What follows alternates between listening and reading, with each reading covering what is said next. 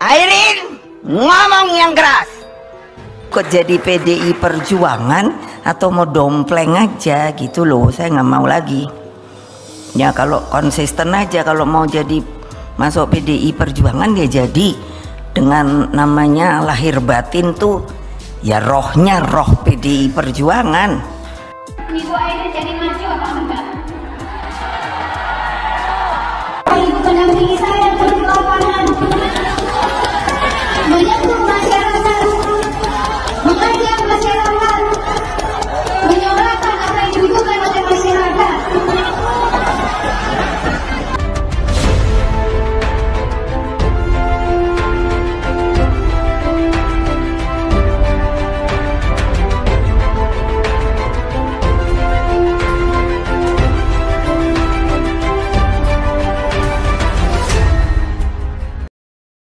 Tonton video ini sampai selesai agar Anda tidak gagal paham.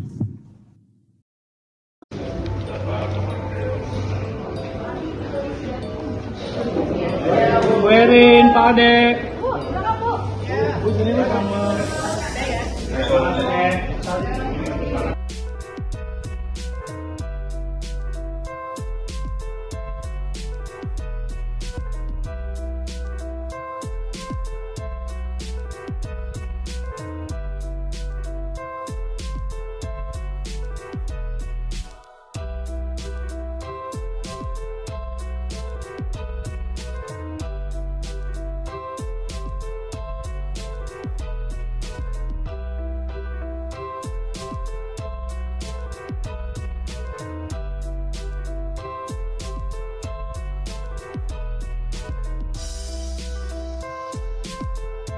Ibu Airin jadi maju apa enggak?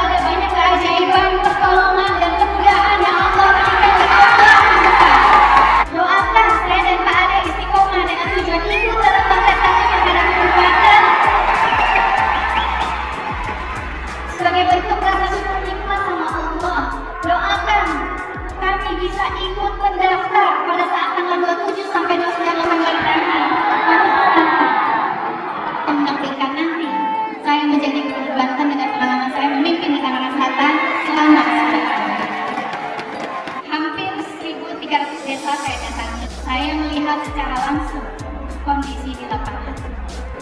Saya mendengarkan apa yang menjadi harapan, apa yang menjadi keinginan, apa yang keluhan dari masyarakat di Provinsi Banten, dan juga tentunya aspirasi yang disampaikan langsung oleh masyarakat.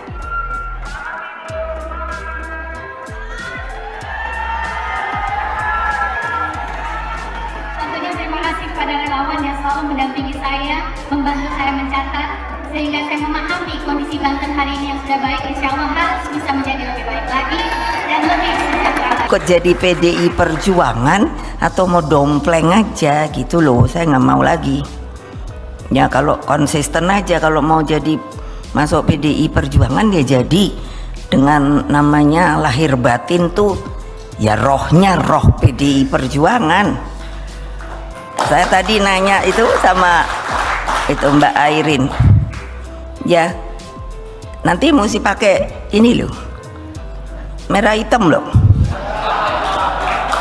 iyalah mau dijadikan tapi coba masa nggak pakai merah hitam Ya gimana? Terus maunya jadi apa? Independen. Ya cari independen. Betul enggak? Lo itu fair lo. Ya dong. Kalau mau masuk sebuah partai ya masuk, kalau enggak ya enggak. Karena ada sekarang masih berlaku toh independen ya. Saya suka bingung loh kalau orang yang mau taruhan di independen itu bisa ngumpulin berapa persen dia sekarang? Tujuh setengah persen pemilih ya? Hah? Banyak eh. Apalagi mame daerah tebel-tebel itu loh. Jawa Barat, Jawa, ya pokoknya Jawa lah. Ada juga yang mau, ay gawat ya. Ini ngomong yang keras. Anto, ya kita nih warga negara Indonesia yang sah, lo punya KTP lo. Lo kok terus kita di TSM, betul apa enggak? Nah lihat, diem toh, betul apa tidak? Airin, ngomong yang keras. Nah, iya dong. Kalau lo udah masuk PDI lo, awas lo ya.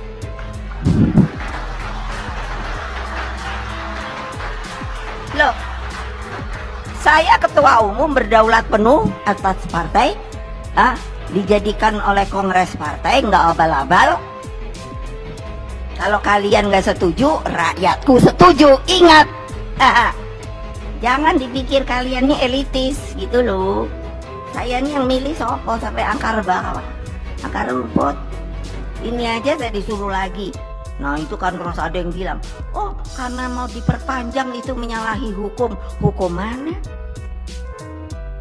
Ini ada Pak Lauli. Kalau dia nggak mau bersuara, gua pecat dia.